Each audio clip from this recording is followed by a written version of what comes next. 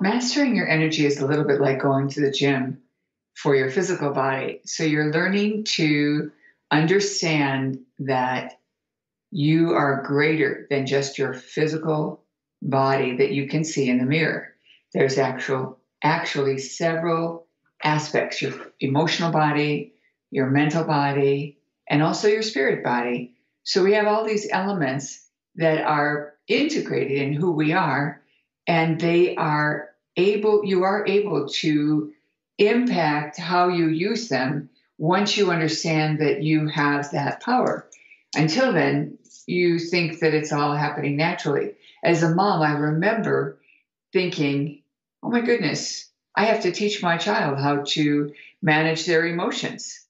You know, initially we think of ourselves as our physical body and we think our thoughts are our mind.